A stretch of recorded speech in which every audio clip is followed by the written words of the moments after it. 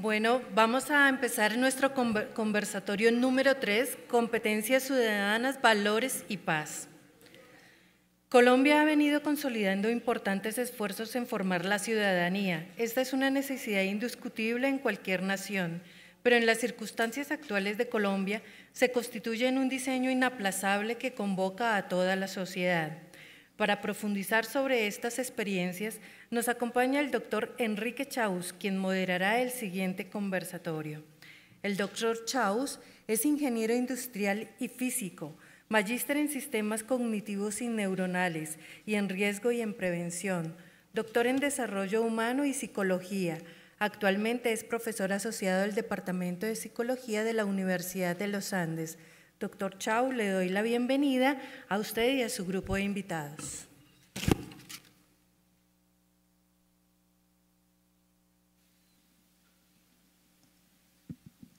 Aló, aló.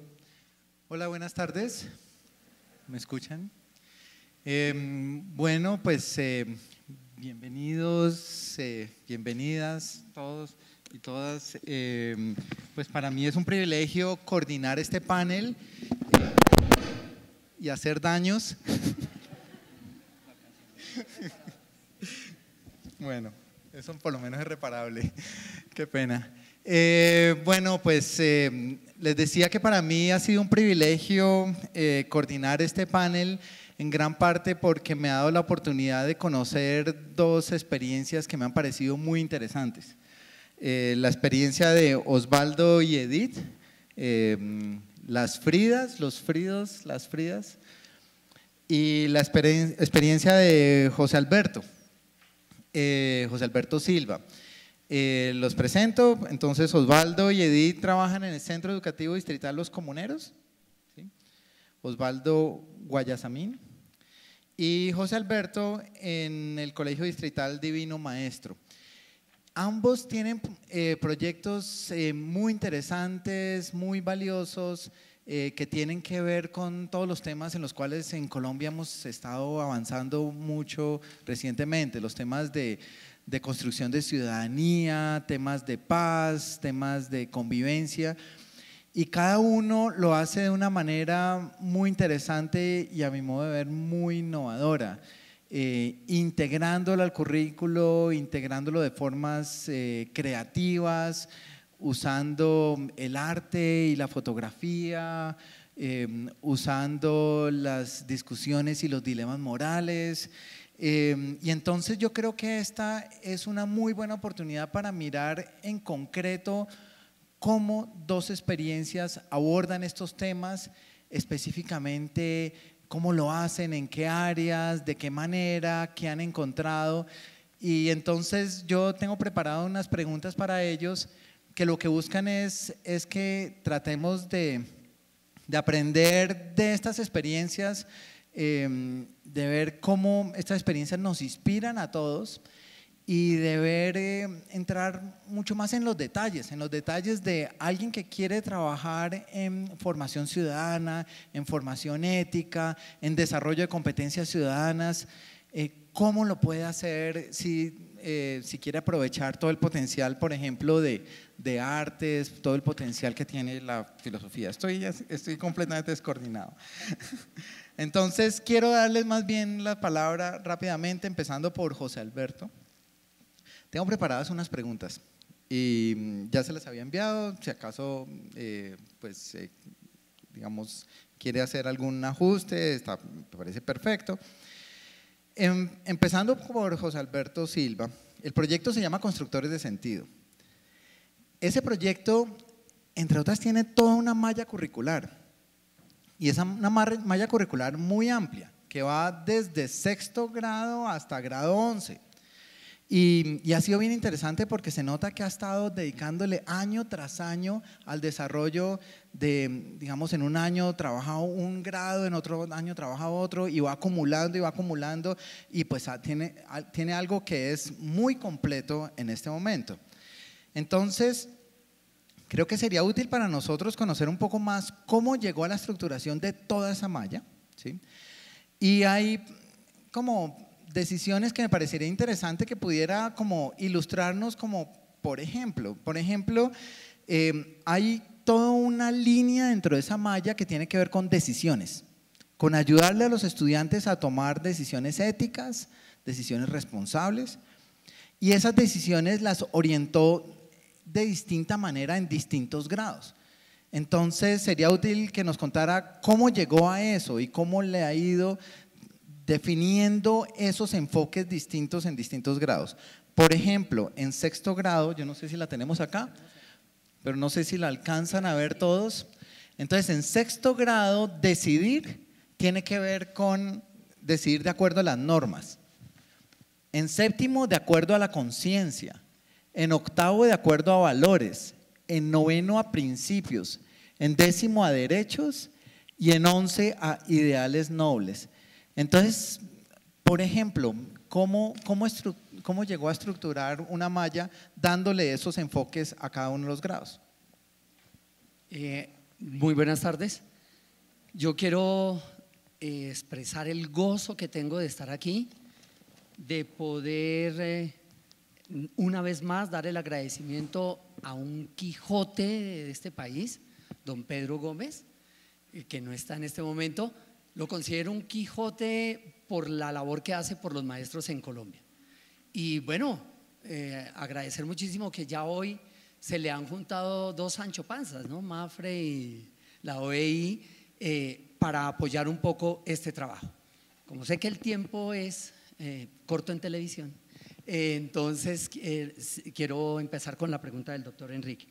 Sí, la malla se me ocurrió un poco hacia los años 80, cuando en Colombia hubo una transición que fue bien interesante, veníamos con toda una tradición de formación religiosa y moral, y hacia los años 80 eh, empezamos como con el cuento de una nueva constitución, una nueva organización eh, del país, y entonces se me ocurrió a mí, yo vengo del área de las eh, de ciencias religiosas, empecé en mi trabajo como profesor de educación religiosa y eh, en la facultad pues veíamos un poco cómo es el proceso de maduración, de desarrollo de la espiritualidad del ser humano. Eso me ayudó muchísimo. Y lo otro fue hacia los años 87 para la maestría, me metí en el cuento de la autonomía moral. Entonces eh, empecé a trabajar con eh, los textos de Colbert, Piaget y empezar a mirar como eh, el asunto de cómo acompañar, acompañar a los chicos en ese proceso de crecimiento de lo que los teóricos Piaget y Colbert decían, que vamos de una heteronomía hacia una autonomía. Esa fue como la, la, locura que, en la que arranqué. Arranqué en un colegio que eh, en el sur de Bogotá, el colegio Manuelita Sáenz, y por primera vez me presenté al 2004 en el premio Compartir y muy bien. Eh, por cuestiones de familia tuve que trasladarme al Divino Maestro que queda en el norte de la ciudad, dos mundos distintos. Y en las exposiciones anteriores hablamos de violencia, hablamos de esa violencia de Toribío, de balas en medio de la plaza del pueblo, pero aquí en Bogotá también. Y aquí en Bogotá cuando yo llegué al Divino Maestro, mm, no era una cosa fácil. El Divino Maestro, para que usted se ubique, queda en el barrio San Cristóbal Norte, en la calle 163, bajando de la séptima, en donde arriba está Santa Cecilia Alta, Santa Cecilia Baja, El Codito, eh, Soratama, y hay unas historias por ahí. Y entonces, eh, eh, con base en esas historias, mm, el impacto fue tremendo. Lo que mi reflexión de autores como Max Scheller y otros, me llevó a ingeniarme desde los estándares que ya posteriormente llegaron las competencias, los estándares. Yo no me sentía muy cómodo con los estándares, inclusive confieso aquí públicamente que hice más de una crítica eh, a esa como una cosa impresionante por dónde la por dónde la agarro, cómo la cojo para llevarla al colegio, a este colegio en donde recibo yo a, a las noviecitas de los Pascuales, cómo aterrizo yo donde están los Luisitos, donde la, salida era una cohorte de, amiguitos mal vestidos de, las pandillas de Bogotá. Y entonces es cómo capturar a este niño para que no se nos, no se nos vaya, para hacer que se nos quede en la institución. Y entonces se me ocurrió a mí, y fue un poco ir elaborando, están los dos marcos. Entonces, por el lado eh, horizontal, es un poco como la, la propuesta desde Colbert y Piaget, que el ser humano va pasando de un nivel normativo al, abordar la realidad, luego pasa a los elementos que le da la cultura.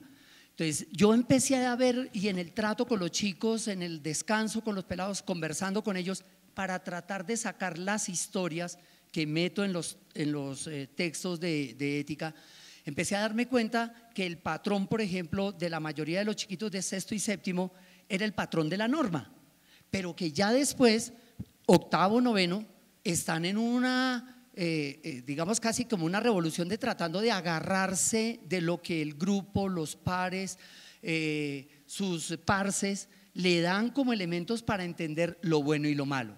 Y en décimo y once empieza uno a sentirlos como a decantarse. Y afortunadamente soy docente también de la Universidad de La Salle en una asignatura que se da en el primer semestre y los veo aterrizando. Y entonces es como ya el río, después de haber pasado todo ese, eh, esa hecatombe, eh, es como un nivel fundamentativo. Eso, digámoslo así, es como uno de los referentes de la, de la construcción de la malla. Pero por el otro, respondo a una pregunta. ¿Para qué tenemos que aprender a valorar? Entonces, uno tiene que aprender a valorar para vivir. Y para vivir, como diría Aristóteles, vivir feliz, vivir bien la buena vida de la que estábamos hablando en la mañana, convivir, eh, decidir, que lo que tú decías es el gran reto de los seres humanos. Nosotros nos volvemos seres humanos cuando tenemos que tomar nuestra vida en nuestras manos y hacer con ella lo que creemos que tenemos que hacer.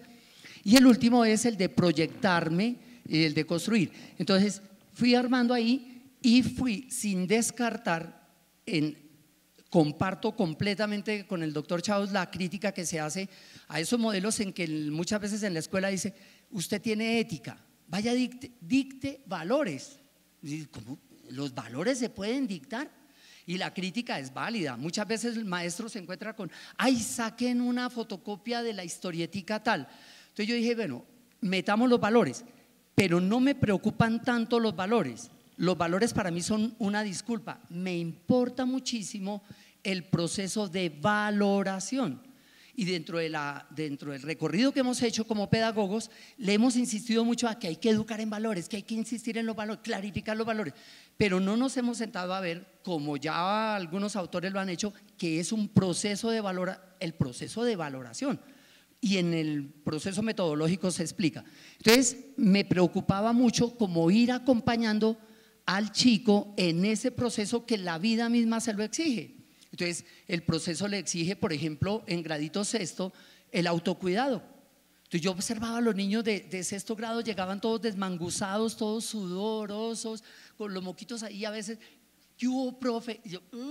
entonces, a este niño hay que ayudarle a que se cuide, que se organice, que entienda que es un organismo vivo que tiene que responder por sí mismo. Y así fue avanzando. Entonces la autoestima es el respeto a la intimidad, el no apodos, el otro me respetable, el de la apertura, no vivo solo en este mundo, en este mundo hay chicas lindas. ¿eh? Eh, y luego pasamos entonces a ese de la individualidad, soy un ser único e irrepetible, ni mi papá me puede ordenar a mí lo que y es, este tema, por ejemplo, lo tenemos muy vivito en este momento. Y por último, los dos últimos grados, como tratando de darle mucho empuje al muchacho para métete a la universidad, ve a la universidad. Porque tenemos chicos de colegios distritales que poco, eh, su horizonte muchas veces termina allí. Pues seré mamita. Eh, normal el embarazo, normal una relación, normal que, bueno, yo ya termino el bachillerato y la familia muchas veces, entonces era autonomía y el último con el que termino, que, me impacta mucho la manera, la reacción de los pelados, lo llamo la autarquía. La autarquía en griego pues tiene que ver con, con la constitución del Estado, pero también es la constitución del sujeto. Y ahí fue donde yo empecé a encontrar que el trabajo redundaba de alguna manera en el establecimiento de un sujeto y de una, un grupo eh, eh, armónico. Y fueron dando los otros. Entonces, en la convivencia, pues es la lógica que se va dando. Primero convivo con mi familia, con mi entorno, mis elegidos, mis amigos, el noviazgo, las relaciones de intimidad. Les encanta el noveno, porque yo ya le digo, ya, usted ya aquí se votó al abismo de la sexualidad, hermanito.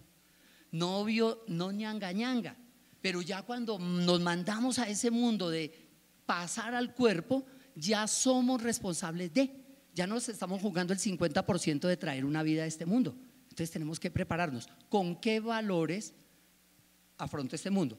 Yo les presento a los chicos los valores como la armadura, como la, el sable, la espada con la que ellos viven.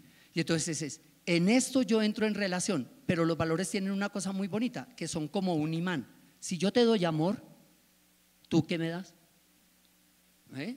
Y entonces es empezar, que el niño empiece a entender, oiga, vale la pena ponerse la escafandra, vale la pena ponerse la armadura para conseguir del otro los valores. En el plano del decidir, mm, en algún momento dado de mi vida yo hice un posgrado en la pedagógica que no me gradué, eh, de orientación y consejería escolar, porque era como mi goma, se murió mi papá y bueno, ya ahí quedó la cosa. Y entonces a mí me marcó mucho el ayudar a que los muchachos tomen decisiones y ese tomar decisiones, ajustándolo ya a una propuesta ética, mm, son como las, eh, las barandas, las muletas de las que uno se agarra para no embarrarla en la libertad. Somos seres libres y somos seres libres y nos hacemos más plenamente libres si yo echo mano de una norma, manual de convivencia, si yo echo mano de mi propia conciencia, de los valores, de los principios, etcétera, hasta terminar en el de lo que yo llamo nosotros eh, decidir de acuerdo con ideales nobles.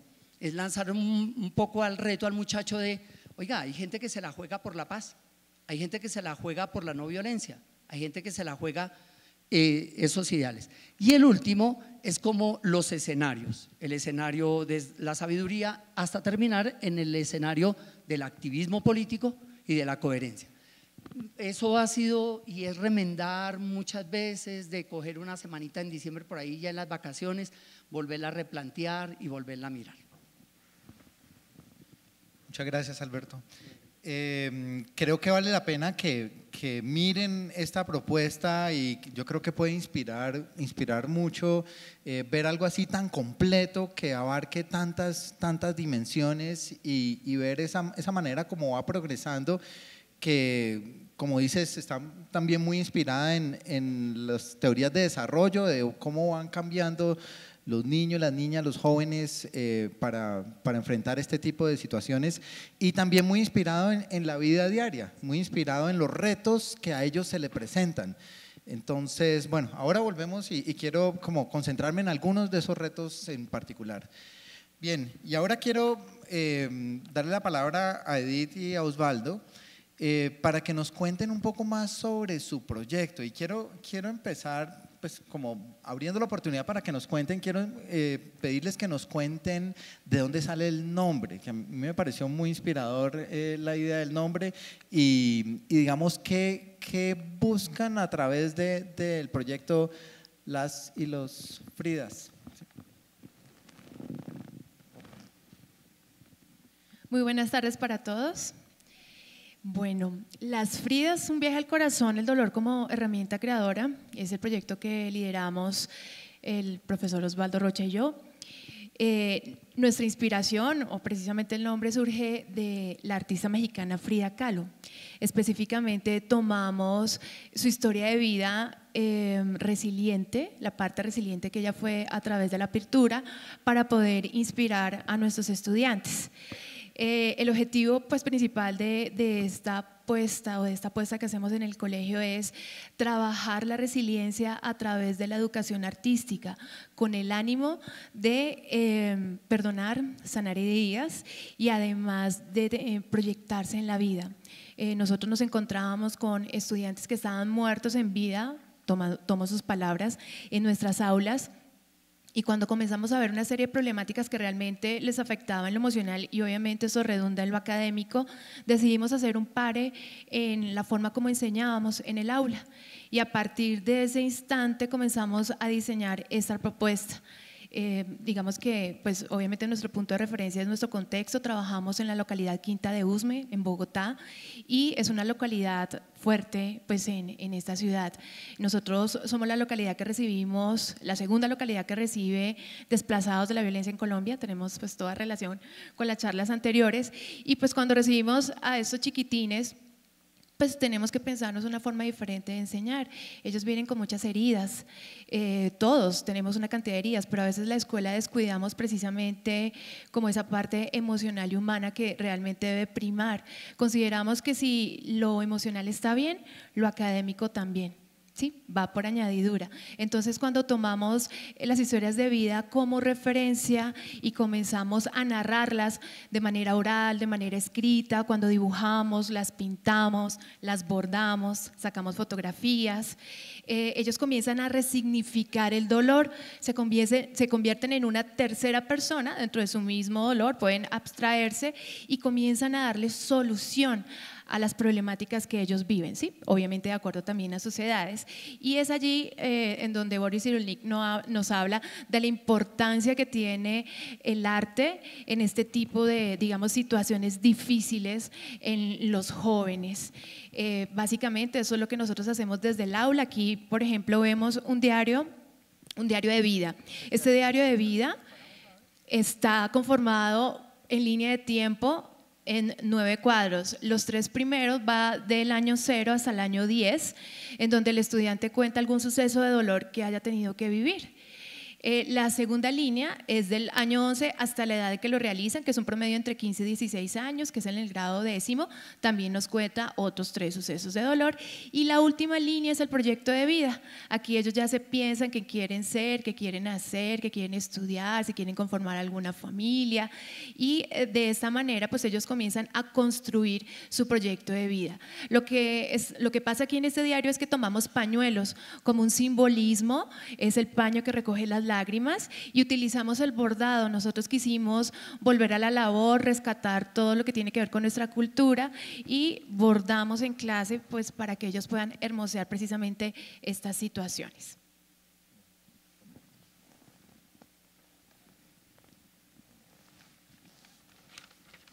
¿Será que mostramos el otro? Y si nos, nos cuentan un poco cómo es. Esto lo bordan ellos, ¿cierto? ¿Y esto en cuánto tiempo lo bordan o cómo, cómo funciona un poco?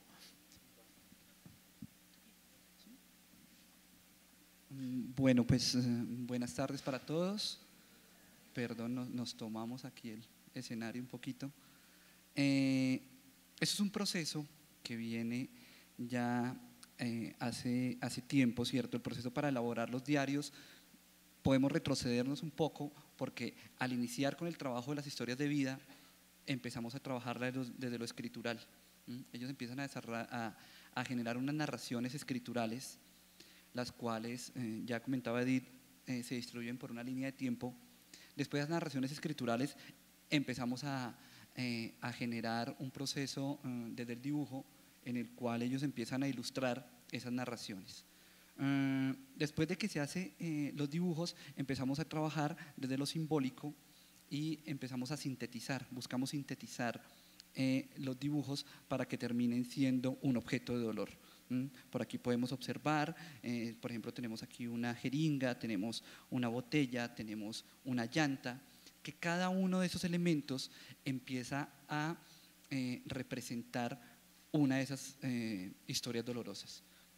De pronto podemos contar una historia, la contábamos que día eh, en la Universidad de La Salle, hablamos de cómo una de nuestras niñas, que es desplazada del conflicto armado, empieza a eh, identificar desde su narración escritural, pero también cuando se llega a pasar a lo dibujístico, eh, que aparece recurrentemente una casa, y todo el tiempo aparece como objeto la casa.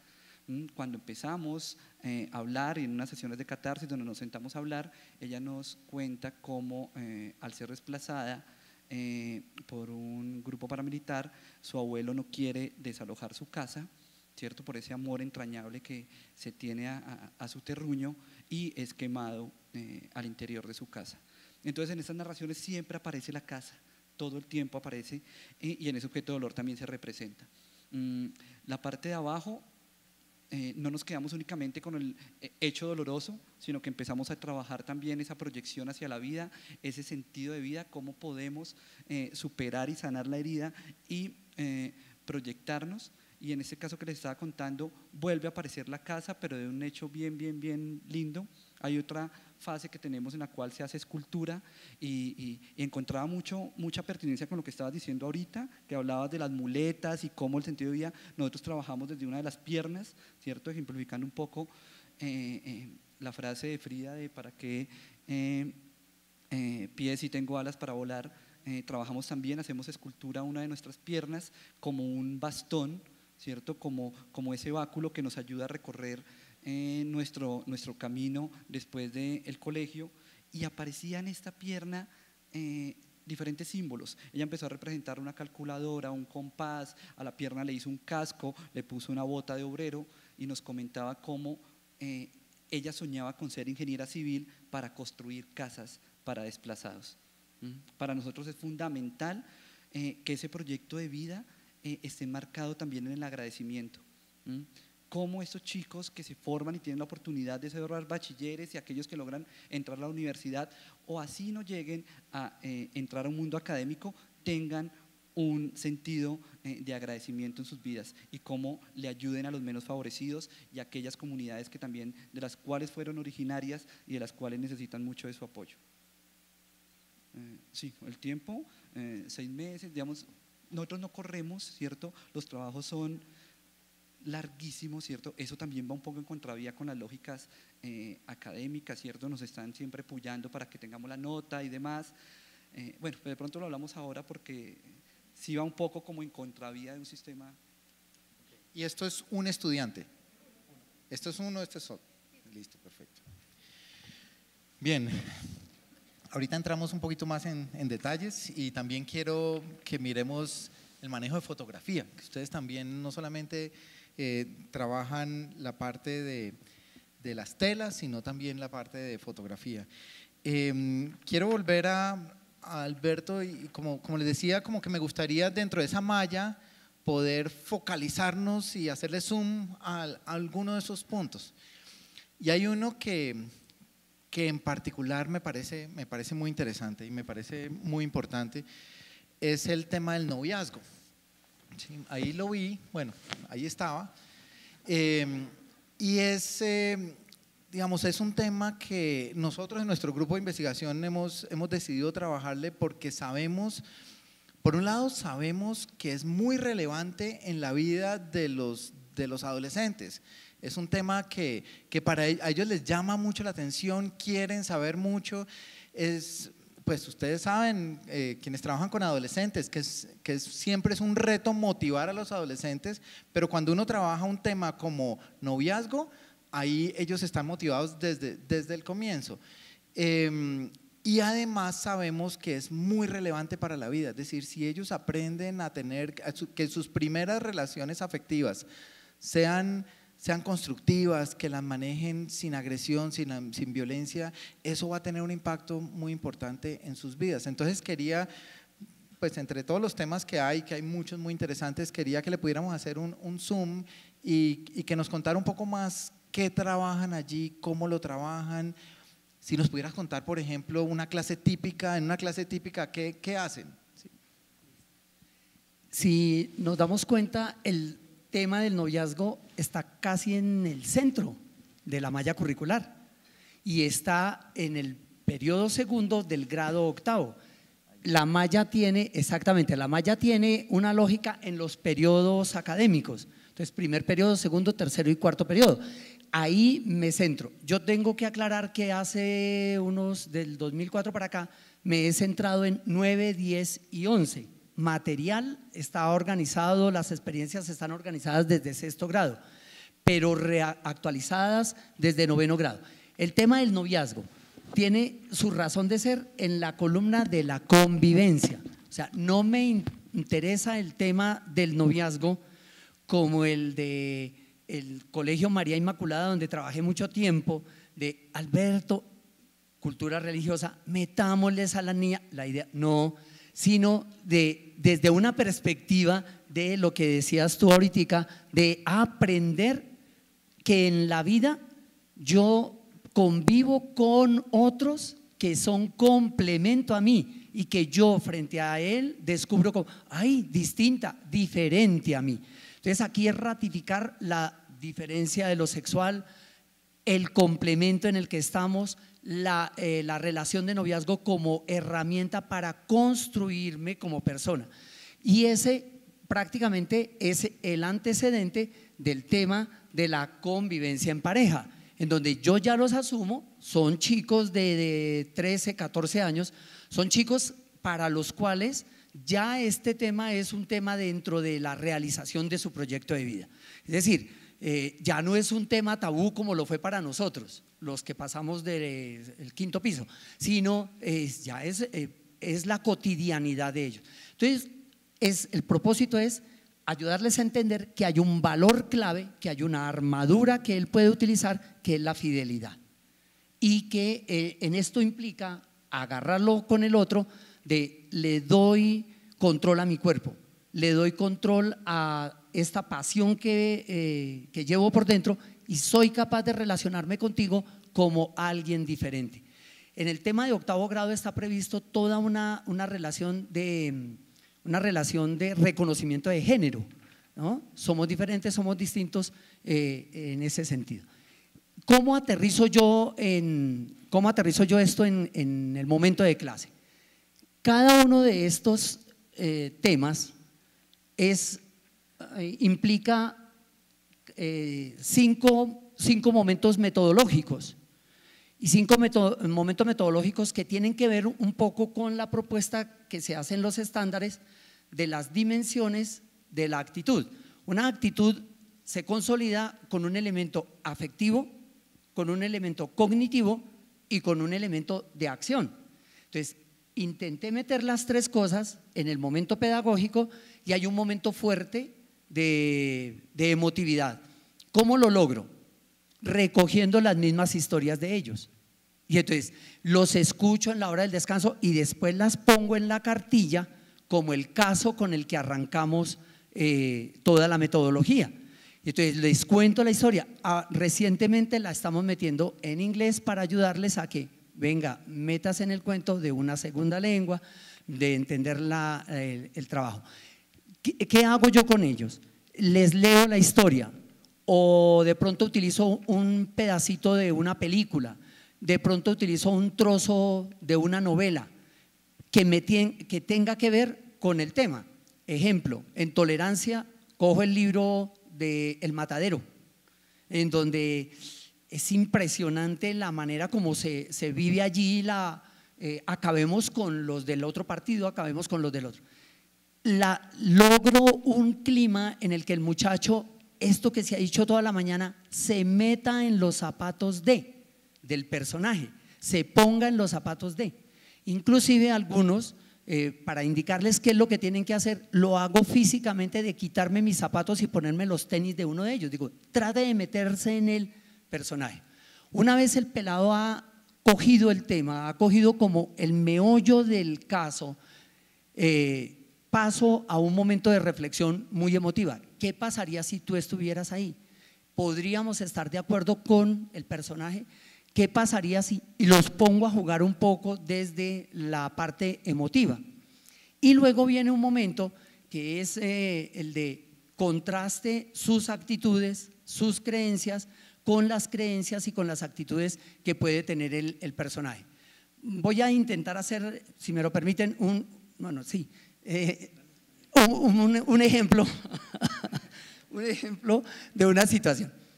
Eh, arranco, hay un tema que me interesa mucho que es el de el respeto por las normas y el respeto por la legalidad, que es el tema de noveno grado. Entonces yo les pongo esta historia. Resulta que hay un chico de grado 11 que está a punto de graduarse, si está en septiembre. Y este chico tiene embarazada a la novia. Y lleva perdido a septiembre lleva perdida química, matemáticas y ética. Y la novia viene y le dice, papi, imagínate, barriguita llena de huesos. ¿Y ahora? Y entonces, el pela, así se los narro yo a los pelados para que ellos vayan como metiéndose, ah, se van metiendo en el cuento. Y le digo yo, y este eh, pelado dice, no, yo tengo que graduarme. Surge un propósito de vida. A como de lugar, a como de lugar, yo tengo que graduarme. Y empieza su estrategia. Y entonces va y cuadra con el mejor del curso, le dice, loco, de aquí en adelante todos los refrigerios son suyos, ¿vale? Pero yo veré. Cálculo tengo que pasarlo. Listo, para las que sea. Para eso son los amigos, parce. Y es un poco la, la historia puesta como en el vocabulario, en los gestos de ellos. Y entonces este pelado dice, uy, va por una. La novia le encantan los textos de ética del profe. Y entonces le dice, papi, yo te ayudo. Ay, ¿cómo no te voy a ayudar? No, listo, va para esa. Y el profe está tramado de que esas son las reflexiones de él. Le queda por coronar química.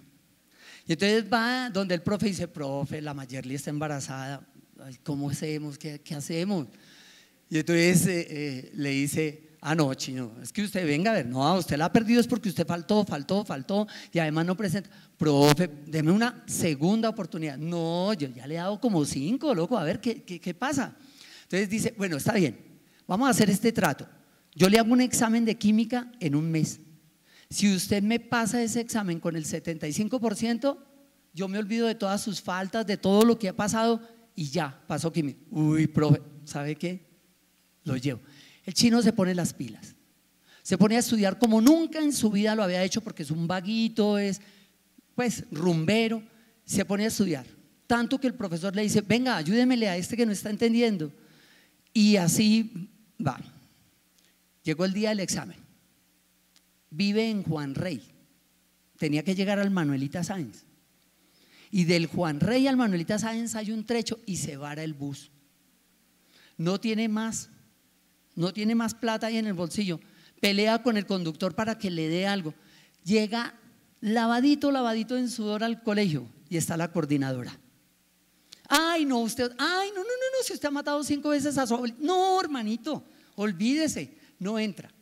Y el pelado sabe que por detrás, cerquita al Hospital San Blas, hay una manera de meterse al colegio y presentar su evaluación. Paro la historia ahí, la dejo en stand-by. ¿Lo harías? ¿Tú saltarías? ¿Tú saltarías?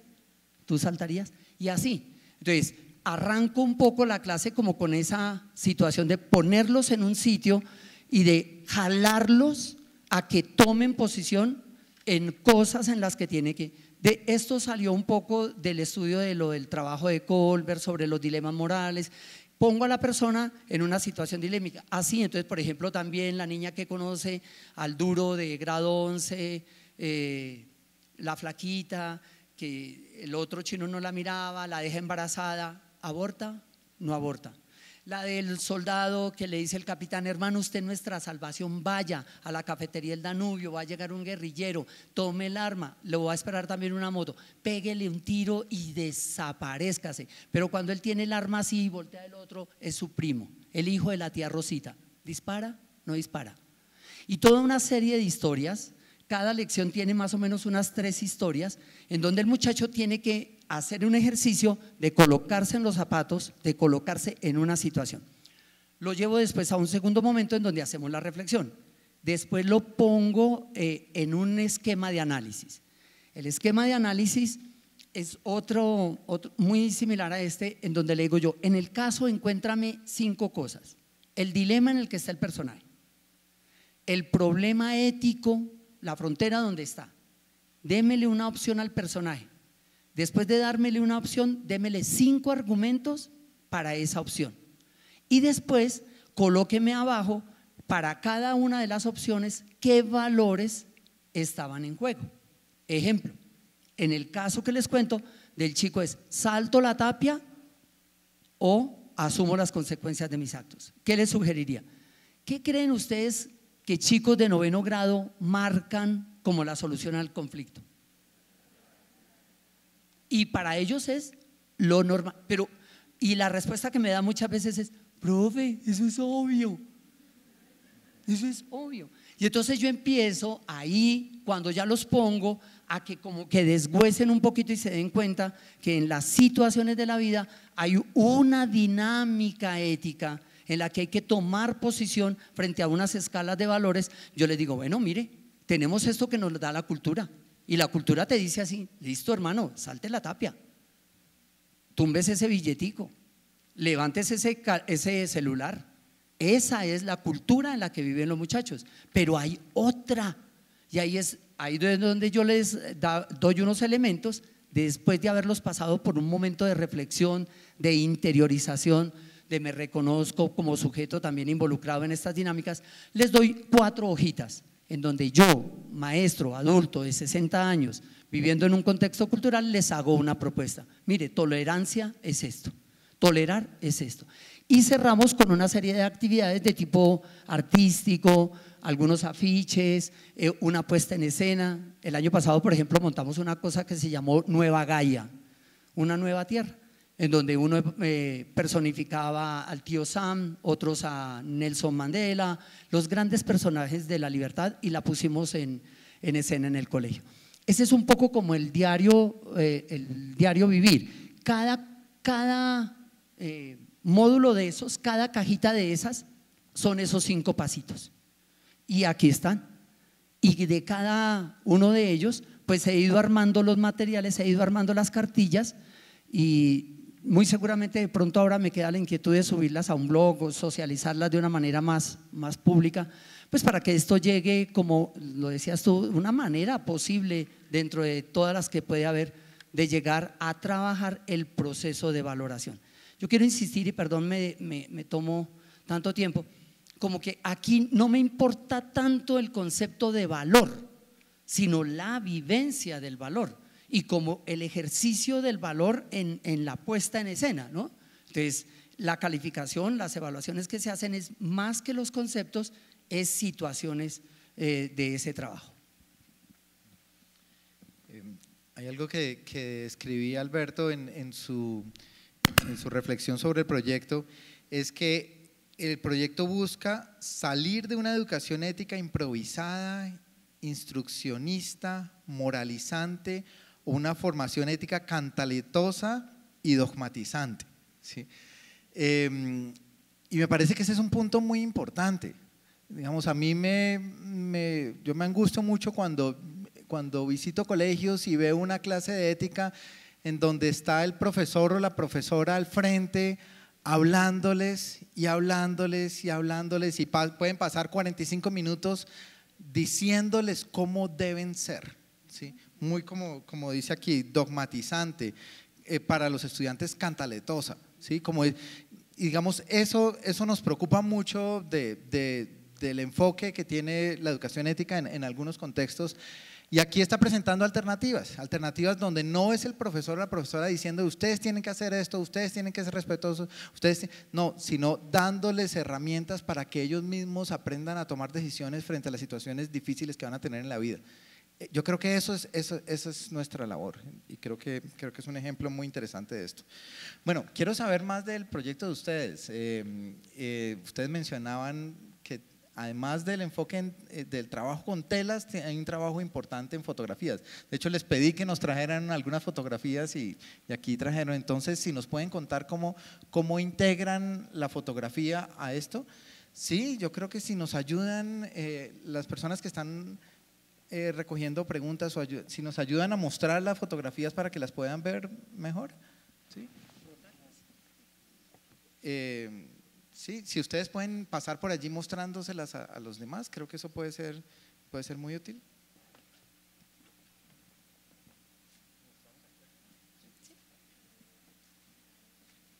Bueno, para llegar al proceso fotográfico, eh, pues nosotros gastamos casi tres años para llegar a este resultado, ¿sí?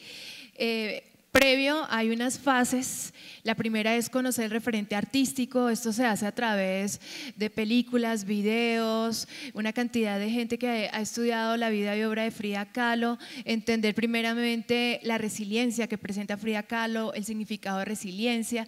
Se hace un trabajo arduo de investigación primero. Ya cuando arrancamos con ese proceso eh, y sensibilizamos a nuestros estudiantes, eh, el objetivo es que ellos un poco conozcan también la cultura mexicana sin separarse, lógicamente, lo que son ellos, su esencia. Y arrancamos con la elaboración de los vestidos. Los vestidos que los chicos y las chicas tienen en las fotografías son elaborados en la clase. Para esto utilizamos telas recicladas. Eh, nosotros mismos nos hemos tomado cursos relámpagos para poder hacer los moldes y buscamos gente que nos ayude también. Y eso se construye en la clase. Aquí las chicas no son Frida Kahlo, son Fridas y los chicos Fridos. Ellos mismos elaboraron ese concepto. ¿Qué es ser una Frida o qué es ser un Frido? Es una persona capaz de levantarse de la adversidad, soñar y tener un proyecto de vida. Eso es ser un frido o una fría. Entonces, cuando ellos ya arrancan con ese proceso, que también se demora alrededor de seis meses en la construcción del vestido, porque nosotros tenemos, eh, nuestra clase es un bloque, entonces nos vemos con cada curso una sola vez a la semana, entonces lógicamente es un poquito más lento el proceso. Y eh, ya cuando llegamos a este punto, ellos también han vivido las sesiones de catarsis, creo que tú un poco nos preguntabas, ¿qué, qué pasa allí? Las sesiones de catarsis son esos encuentros que tenemos en grupos pequeños con los estudiantes, obviamente las amigas o los amigos, tres, cuatro, eh, lo hacemos en nuestra clase o en nuestras horas libres, sacamos al grupito y aquí comenzamos a hablar. Cuando hablamos, cada uno tiene la libertad de contar un suceso de dolor. Obviamente introducimos primeramente entendiendo que el dolor no es igual para todo el mundo, que hay niveles de dolor distintos, que para mí puede ser grave, puede ser grave perder mi mascota, como puede ser absolutamente terrible haber perdido a mi padre, a mi madre o haber tenido un abuso, ¿sí? de cualquier tipo. Cuando comenzamos a narrar esto, nosotros necesariamente ponemos un rollo de papel higiénico en la mitad de la mesa y ellos se sorprenden y dicen, pero ¿para qué necesitamos eso?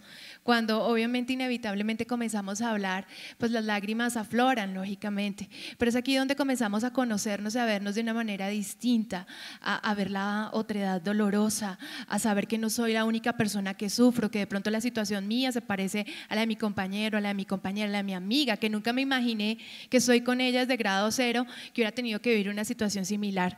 No solo aprendemos arte dentro de ese proceso o algunos vestigios de educación artística, sino que aprendemos a consolarnos, a abrazarnos, a querernos, a amarnos en este proceso. Entonces, cuando estoy frente al lente, yo ya he transformado un poco mi ser interior, ya he intentado entender las situaciones por las que he vivido, he comenzado a trabajar en un proceso de sanar a través de la narración y es allí donde ya puedo tener un poquito de fortaleza frente al lente y aquí sí voy a dejar al autor de las fotografías que nos cuente qué pasa por el lente en ese momento. Eh, mm, bueno, mm, creo que nosotros buscamos eh, ya lo dice eh, Cirunik, hermosear el dolor.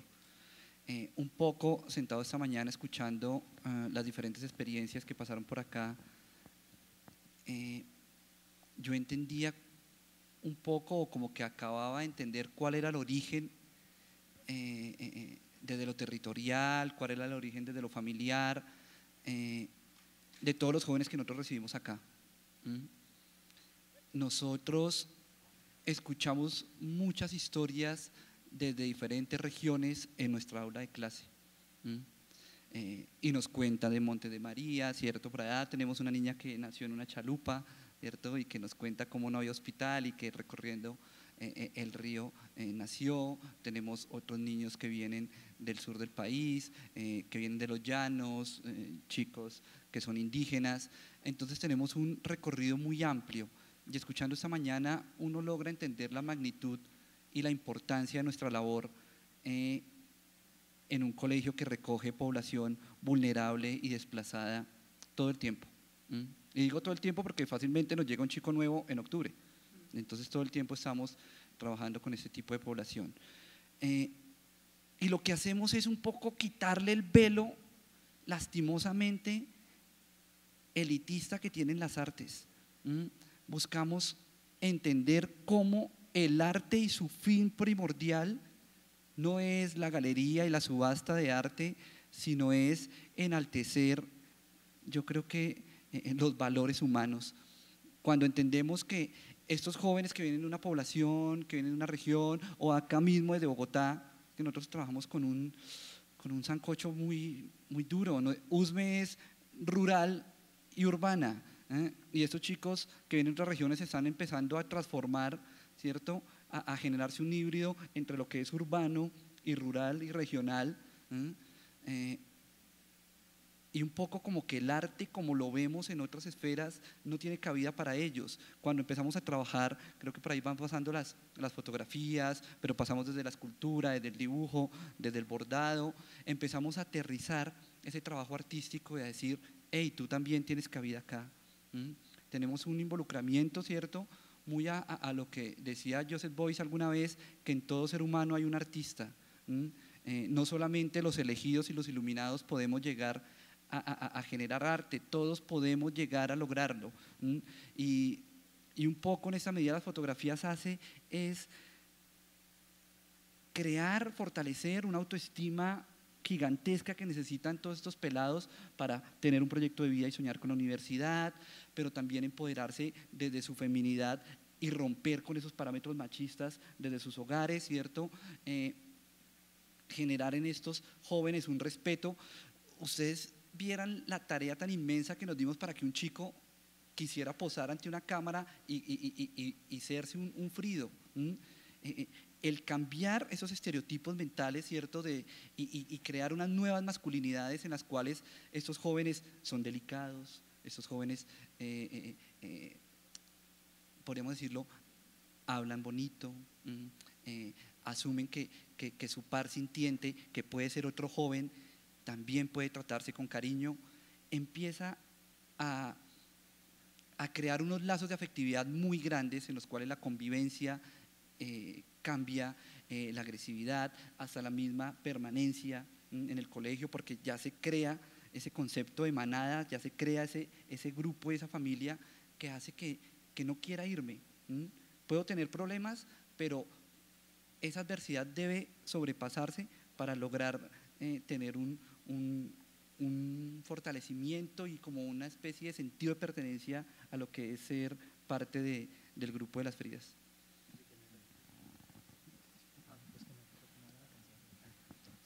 Em, solamente un comentario más y quiero dar paso a, preguntas porque se nos está acabando, se, nos está acabando el tiempo.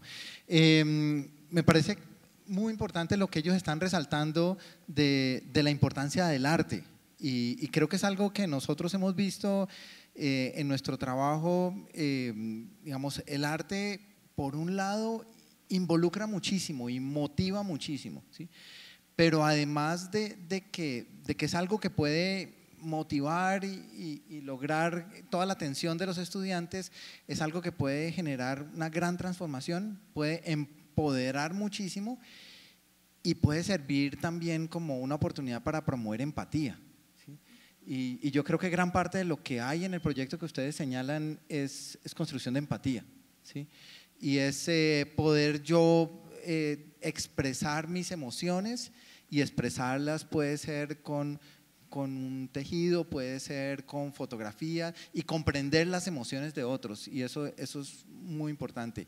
El, el último comentario que, que les tenía a ustedes es, digamos, a mí, el hecho de, de que ellos tengan que contar una situación donde les, que les haya generado mucho dolor, incluso ustedes decían que, que piensen en la situación que más dolor les ha generado, como que le veo algo muy positivo y es como esa posibilidad de yo poder sentirme en un espacio de confianza donde yo pueda contar esto, pero también yo le, yo le tendría mucho susto. O sea, yo, si, si yo fuera profesor, yo no sé si yo lo haría, porque a mí me da susto que uno pueda destapar algo y, realmente las historias que, que, uno puede encontrar allí son, son historias muy duras, historias trágicas, historias seguramente a ustedes les ha pasado, historias de abuso, historias que, que hay que reportar. Yo entonces quería saber si ustedes cuentan con apoyo profesional para manejar esto, si ustedes remiten los casos, si, si hay algo que, que, sale de un abuso que está ocurriendo, si ustedes lo pasan a la fiscalía, al ICBF, es decir, ¿ustedes cómo manejan eso? Porque ustedes están, están abriendo puertas que son muy complejas.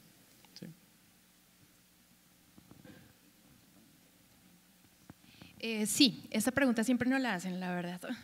Lógicamente trabajar con las historias de vida es algo totalmente delicado y que en algún momento, como tú dices, puede llegar a desbordar el aula. Es decir, si algún estudiante cuenta que obviamente tuvo su mascota por 10 años y se le murió, pues lógicamente sí es un suceso fuerte y que queda plasmado, pero no trasciende de ahí como hay otras, como el abuso sexual, por ejemplo, que sí, y es fuerte y es el pan de cada día, desafortunadamente, en las instituciones. Hemos tenido varios casos, muchos, de pronto me remito a uno en particular, que cuando iniciamos el proyecto, eh, digamos que la niña contó que se le había sucedido a los siete años y ahí ya pasó digamos que ahí ya quedó. Entonces generamos todo este tipo precisamente de procesos para que ella pudiera sanar y bueno, y entender que podría restaurar su vida y digamos como dejar eso atrás. Pero resulta que con los procesos de danza consciente, nosotros también incluimos otras artes, la danza consciente y la biodanza, eh, precisamente en, el, en la última fase, que es cuando ya están en 11, volvió a salir el tema, porque era un tema sanador y eh, ese suceso no había dejado de pasar. Es decir, ella dijo que había pasado los siete años y era permanente, llevaba diez años el abuso por parte de un tío.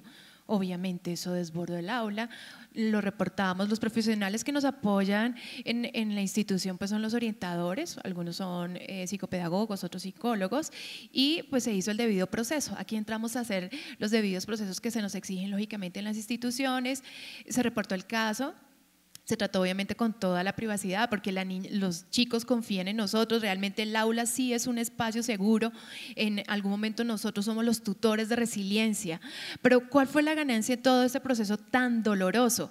Que finalmente cuando lo reportamos, luego a la mamá, bueno, obviamente fue un caso de bienestar familiar, de fiscalía, la persona que abusaba de la niña fue a la cárcel, todo este tipo de cosas se dieron, eh, ella se volvió un tutor de resiliencia. Otro día Llegó al aula una niña llorando al descanso, ellos estaban bordando sus diarios y la niña se desbordó diciendo que le había pasado algo terrible y me abrazó.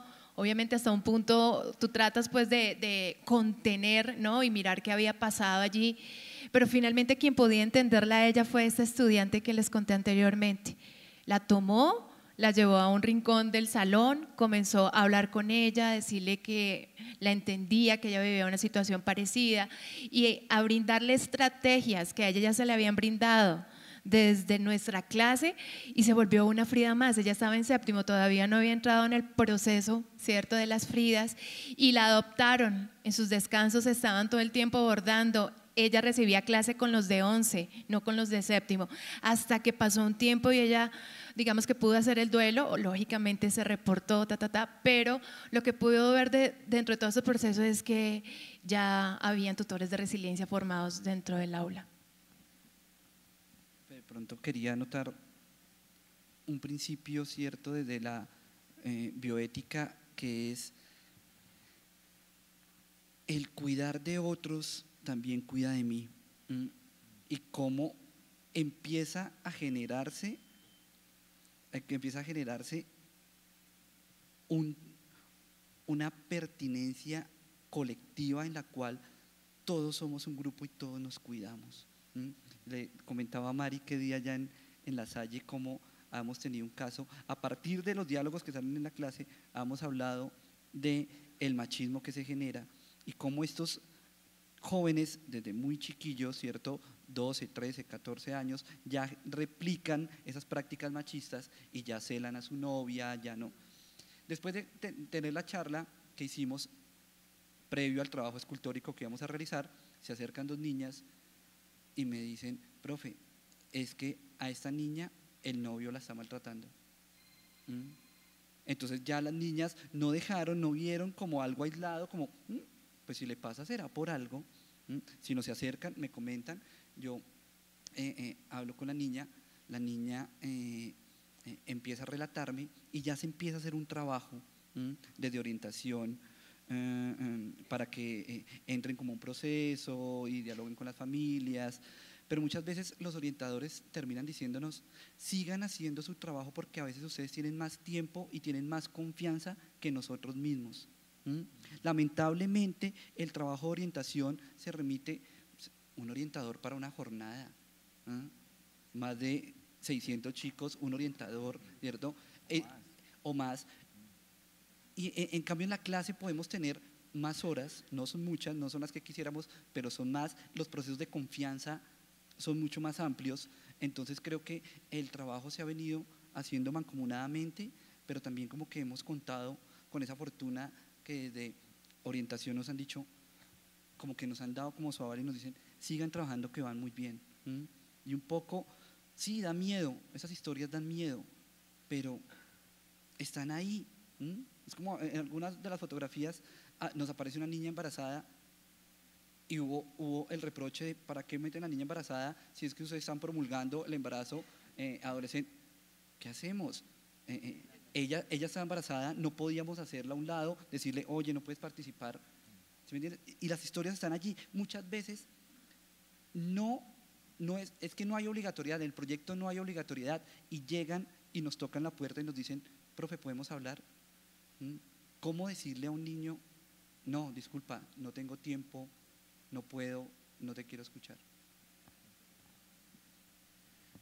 Bien, eh, me dan tiempo para una pregunta y es una pregunta muy concreta. Es, eh, en los proyectos de ustedes, eh, ¿esto es un proyecto en una asignatura en particular? ¿Esto hace parte de la Cátedra de la Paz? ¿Esto lo hacen ustedes solos? ¿O esto es más una propuesta integrada al resto del currículo? O sea, esto, por ejemplo, en el caso tuyo, esto es ciencias sociales, esto es la clase de ética, o esto es todo un grupo y, lo mismo para ustedes. Sí. Eh, no, es eh, clase de ética con una hora semanal de en décimo y once y noveno con dos horas. O sea, batir, batirse con esto. Pero recibo apoyo, recibo apoyo de mi compañero de inglés que me ayudan lo de los textos, recibo apoyo de las orientadoras también porque exactamente la misma situación. ¿no?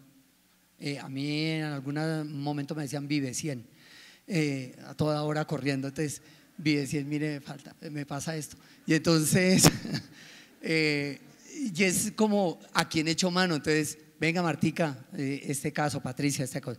las directivas del colegio, apoyo. Pero que el proyecto es una cosa casi que podría decir yo de puertas cerradas en el segundo piso, el 204 del Divino Maestro.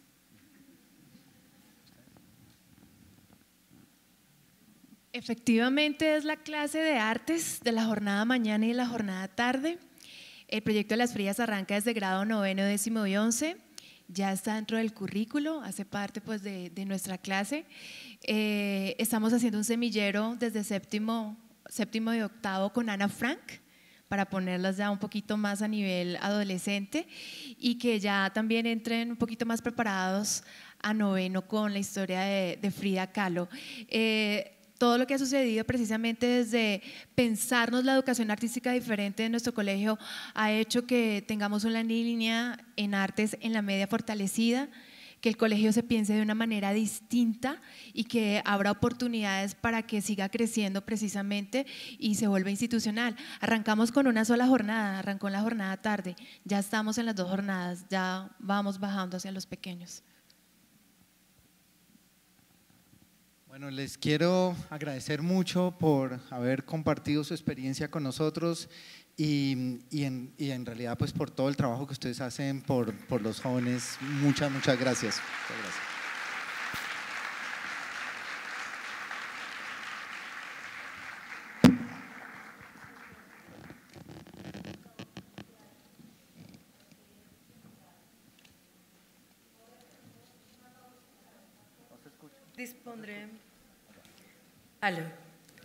Bueno, estaba agradeciendo al doctor Chaus y a sus invitados, muy bellas esas experiencias.